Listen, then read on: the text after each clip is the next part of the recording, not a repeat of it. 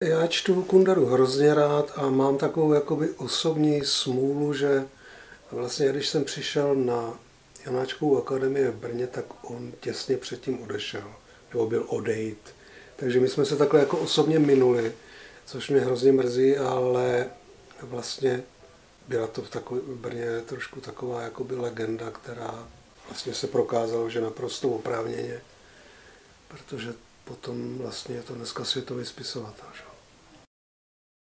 Já myslím, že bych se do toho asi nepouštěl, jo, protože pro mě je to, eh, pro mě je to spíš jakoby literární záležitost, kterou strašně rád čtu a velmi tomu rozumím.